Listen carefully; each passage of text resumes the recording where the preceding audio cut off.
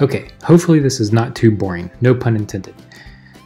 What is a geotech report and why is a geotech report important for your construction project? Well, uh, in this case, we had a geotech report done by SEC Solutions here in Austin, Texas, for two houses we were building. And a geotech report is uh, conducted by a licensed engineer. And they basically give you an overview of foundation recommendations based on the soil conditions on your site. So in this case, we had the option to do a conventionally reinforced slab or a post-tension slab.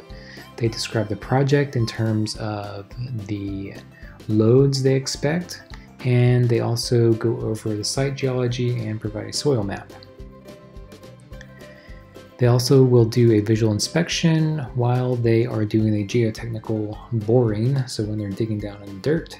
And in this case, they found no evidence of groundwater, so that was good. Uh, as you'll see, water is very important as it relates to soil.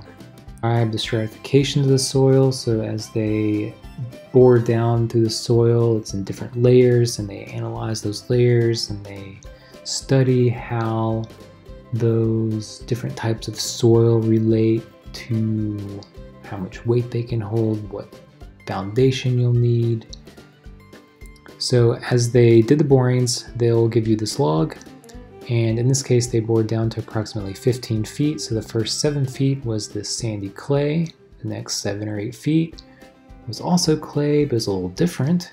It was a pale brown with some gravel stiff to very stiff and the second boring was very similar so they take these boring um, analysis and they give you a, an effective plastic index. So they tell you how expansive your soil is based on these uh, soil conditions that they study. And then here's a boring log or cross section of the actual boring. So again, we have seven feet of that brown clay, and then we have another seven or eight feet of that clay, light pale brown clay.